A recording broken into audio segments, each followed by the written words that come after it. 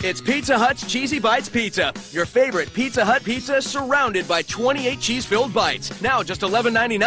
Add breadsticks and a 2-liter Pepsi for just 5 bucks more. The Cheesy Bites Pizza, only $11.99 and only at your Pizza Hut.